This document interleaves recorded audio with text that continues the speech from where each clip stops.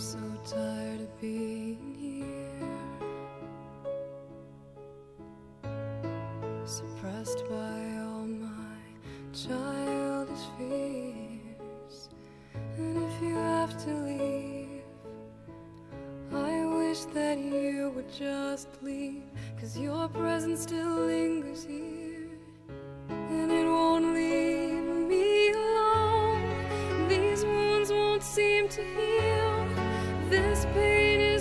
Too real. There's just too much that time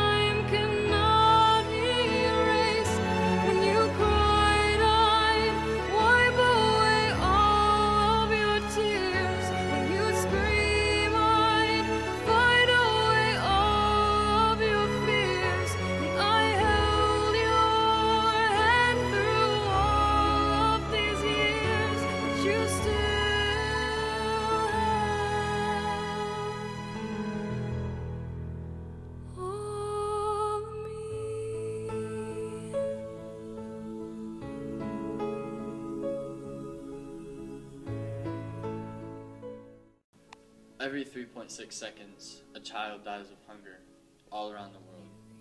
Approximately 800 million people suffer from hunger and malnutrition a year.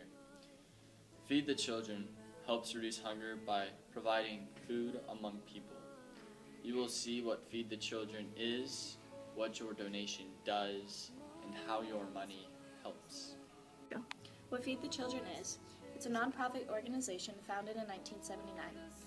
It's one of the largest charities based in the U.S.